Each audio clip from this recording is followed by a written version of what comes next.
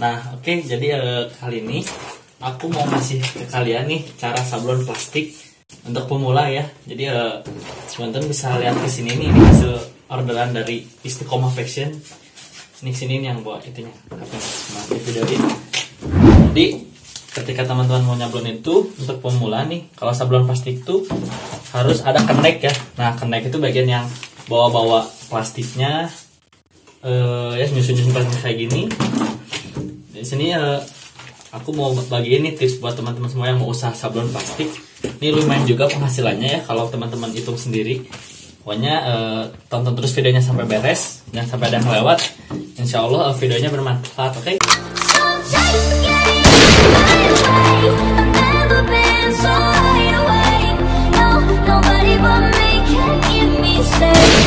I'm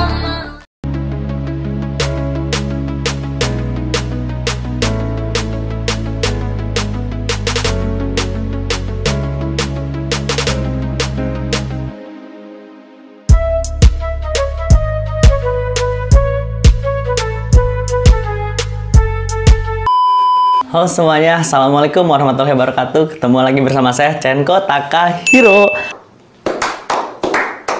Oke guys, eh, untuk di video kali ini tuh eh, kita lanjutin tutorial dulu tentang sablon ya. Jadi eh, tutorial tentang sablon plastik. Jadi kalau teman-teman eh, ikutin video aku dari awal gitu kan, aku udah bikin video cara sablon untuk pemula ya. Jadi dari mulai cara bikin screen, terus cara memperkuat afdirkan screen biar nanti teman-teman ketika nyablon enggak rontok gitu.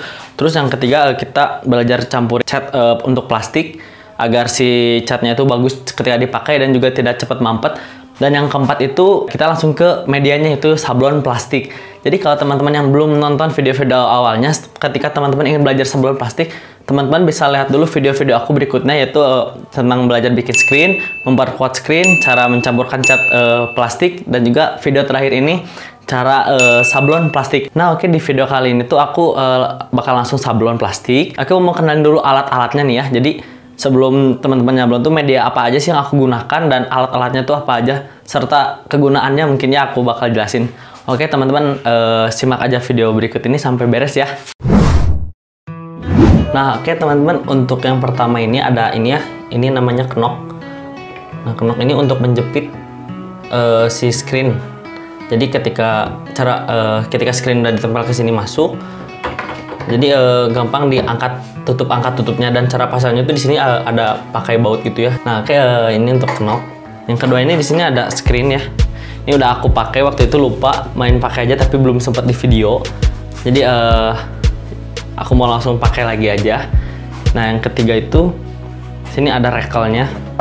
Di sini eh, untuk ngegosok screennya. Ini ada M4 M4 itu eh, cairan pengancar tintanya atau ke- eh, cairan ketika screen mampet bisa dilubangi lagi pakai ini M4 ya. Di sini ada kain bekas ini untuk lap. Ini eh, kelima ada koran bekas. Keenam ada medianya plastik yang akan kita sablon dan yang terakhir ini double tip untuk nandainya.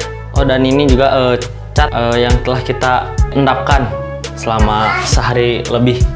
Jadi tinggal kita pakai aja catnya ini cat polimet ya untuk plastik itu. Oke udah kayak gitu kita langsung cobain praktek eh, sablon plastik ya. Oke untuk pertama kita bersihin dulu si mejanya ya. Jangan sampai kotor. Pakai M4 jadi bekas-bekas tinta itu kita bersihin dulu. Oke ketika udah bersih cukup ya sini kita tempelkan langsung si screen atau pasang screen ke Op. nah ini ini bisa diatur sendiri. Dengan cara diputar ke kiri ke kanan.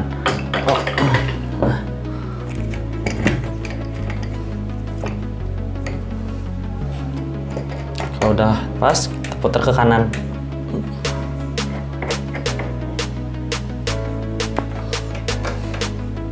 Nah, kalau udah dipasang kita coba. Nah, bagus. Jadi posisi screen itu nggak akan goyang ya, udah kayak gini. Nah,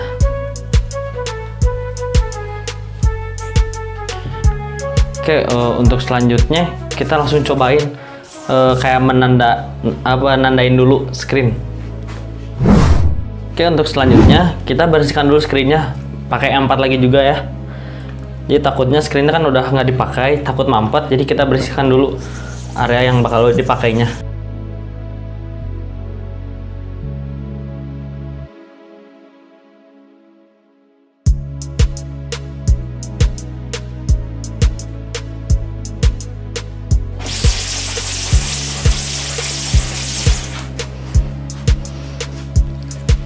Oke setelah ini kita langsung coba sablon tapi eh, jangan dulu ke medianya ya ke media plastik. Jadi kita eh, bikin tanda dulu terus kita pakai koran dulu.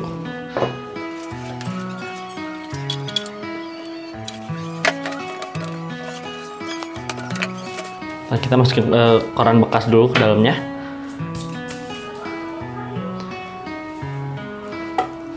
Kita tarik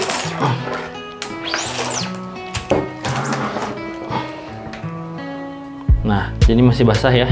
Oke, kita coba lagi ya pakai koran. Tarik. Nah, oke kalau misalnya udah kayak gini, udah keluar semua, kita bikin tanda dulu di kacanya ya. Nah, ini kan tadi kacanya udah dibersihin sama kita. Kita bikin tanda.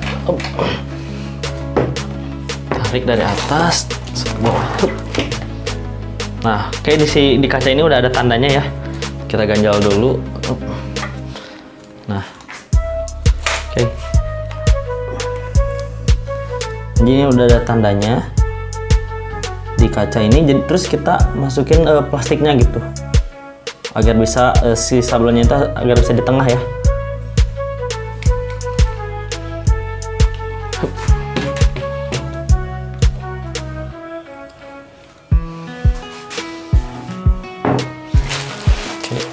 susah pegang kameranya. Kita ambil di sini plastik. Ini masih ada ya tandanya. Kita taruh belah mana nih pasnya nih.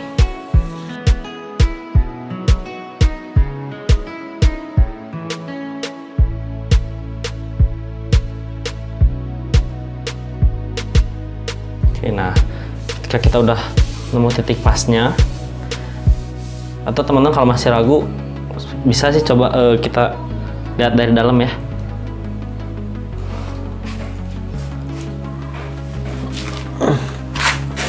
Nah ini di bawah mejanya kurang lebih kayak gini. Hmm, sudah pas atau belum? Mungkin belum ya. Kita taruh seperti ini ya misalnya. Nah oke kalau udah gini langsung kita kasih tanda biar si posisi eh, plastik ini nggak berubah. Nah cara ngasih tandanya itu gini. Up. tadi kan kita udah bawa double tip ya. Double tip yang ini. Oke. Kita ambil seperti aja. Oke. Lalu si eh, sobekan slot tip double tip ini taruh aja di ujung-ujungnya. Ini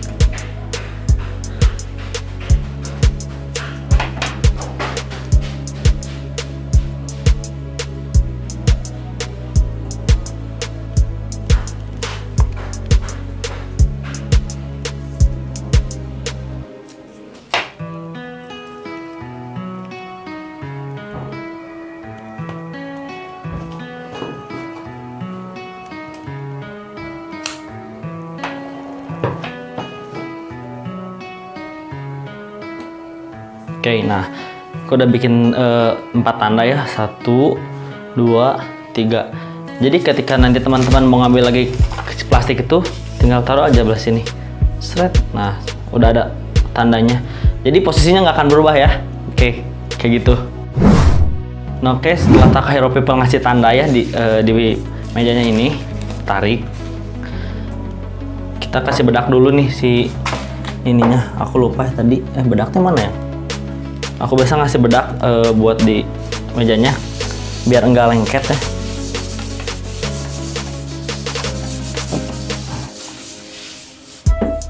Kasih bedak aja sedikit.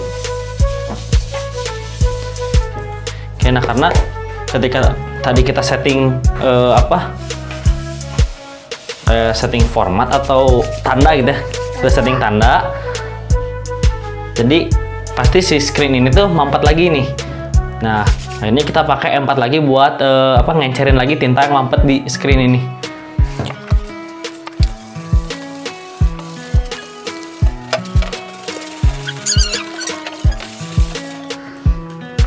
Kasih M4 lagi dikit. Kita aduk di sini. Oke kita tunggu dulu bentar. Sambil nyiapin. Keluarkan dulu plastik yang akan disablon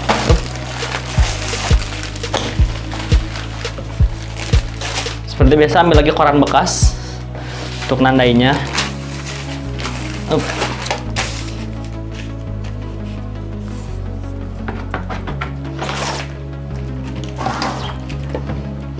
Nah, pasti melebaran karena hasil dari M4 tadi. Oke, ambil lagi sampai benar-benar bagus hasilnya ya.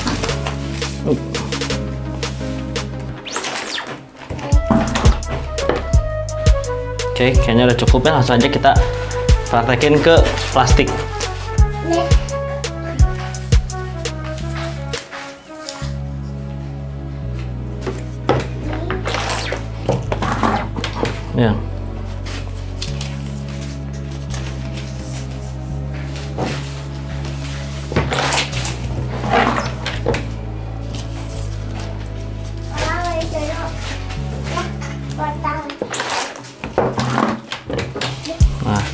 Jadi cara uh, ngegesutnya juga ya. Kita tarik dulu serekelnya dari atas. Jadi reload dulu, nutup dulu screen, buka lagi, set. Nah, kayak gitu. Tenang aja, tenang tapi cepet gitu. Karena kalau kelamaan nanti si screen akan lompat lagi, guys. Nah, kayak gitu. Jadi harus cepet. Terus eh, faktor eh, apa ya?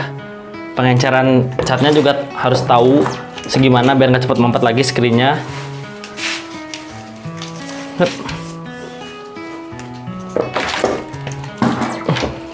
Eh, nih maaf ya. Tutup ya. Oke nih, eh, Takai Hero People kalau mau nyablon itu harus ada dua orang ya. Jadi satu untuk tukang sablonnya dan satu untuk kendek. Nah, fungsi kendek itu ya mindah-mindahin plastik gitu kan. Nggak capek sih, cuma yang capek nyablon, gesut-gesutnya. Tapi ya kendek juga capek. Nah, jadi eh, intinya kalau teman-teman belajar nyablon, kalau pertama emang suka nutup, cepet nutup, terus eh, cepet buyar juga gitu ya. Kenapa itu sebenarnya si M4-nya tuh belum kering, teman-teman. Jadi eh, si M4-nya itu belum nyampur ke apa plastik plastisolnya, eh plastisol ke si tinta polimetnya. Ini di sini aja yang kosong. Nggak apa-apa. Enggak. Tutup aja. Nah, gitu. gitu. Oke, nanti tak tak people lihat hasil sablon aku ya. aku juga sebenarnya baru sih di dunia sablon. Eh, belum lama. Karena kalau aku belum bisa masa iya sih ngasih tutorial? Jadi ya untuk memperlancar aja dan bagi-bagi ilmu mudah-mudahan juga aku bisa lebih lancar lagi ke depannya buat nyablon. Dan juga apa yang aku kasih ini eh, ilmunya bermanfaat buat teman-teman yang mau buka usaha sablon terutama sablon plastik ya.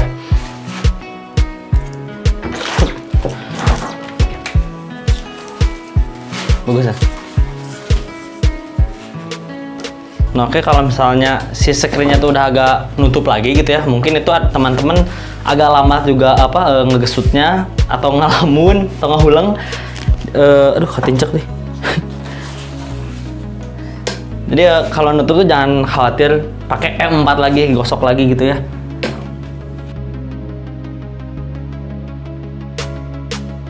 Ke bawah nah. Nah, gitu. Ya biar nggak mampet kita ya kasih empat aja dikit aja dilapin gini. Nah jadi pasti ada mampet lagi mampet lagi gitu kan kalau emang udah kering. Terus si cat belah sininya kasih empat lagi dikit. Diaduk lagi di sininya. Nih di sini gosok lagi. Depannya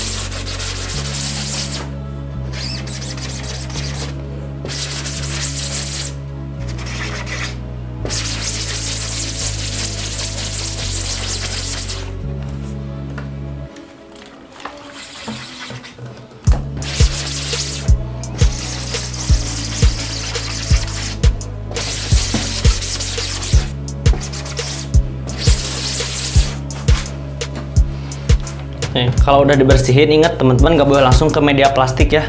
Eh, jadi eh, Takahiro People tuh harus langsung ke koran dulu, tes dulu apakah udah betul atau belum, atau bukan betul udah benar-benar bersih, atau takutnya tuh bekas eh, cairan empatnya masih ada, nanti melebar ke mana-mana. Nah kayak gini kan ini hasilnya. Masih agak melebar ya. Lagi aja, lu udah banyak ih korannya sini aja Hup.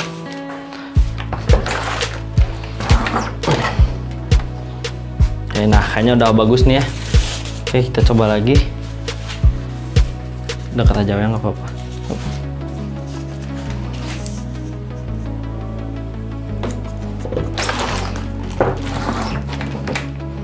Nah ini masih agak melebar ya dikit. Nggak apa-apa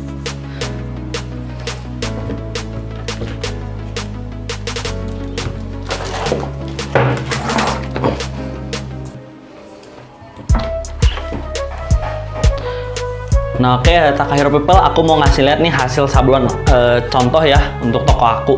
Jadi eh, biar langsung lihat aja ya. Nah ini baru berapa ya? Berapa 20 kalau nggak salah atau 30-an. Nggak deh 30 cuma 20-an. Ya kurang lebih kayak gini hasilnya. Nih ini masih ada yang bocor kayak gini nih ya. Nah ini M4-nya masih encer.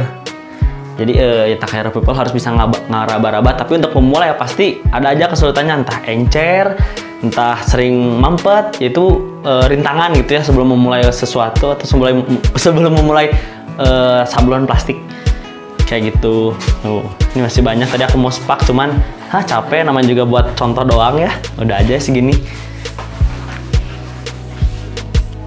Nah, Oke, untuk semuanya thank you banget yang udah nonton video aku sampai selesai. Eh, semoga nambah ilmu juga, nambah wawasan juga, dan juga buat yang mau usaha sablon plastik, mudah-mudahan juga dilancarin eh, usahanya juga ya. Thank you banget eh, untuk semua support aku sampai aku bisa berkarya di video ini. Mohon maaf banget kalau aku emang jarang update, karena ya di tengah-tengah kesibukan aku harus bisa ngeluangin beberapa menit atau jam untuk membuat video dan juga ngasih tutorial baru seputar percetakan. Oke, thank you banget. Saya Chan Kotak Air pamit dulu. Yang baru bergabung jangan lupa subscribe, like, komen dan juga share apabila ilmu ini bermanfaat. Oke, gitu dulu. Saya Chan Kotak Air pamit dulu. Assalamualaikum warahmatullahi wabarakatuh. Dadah. Hidung.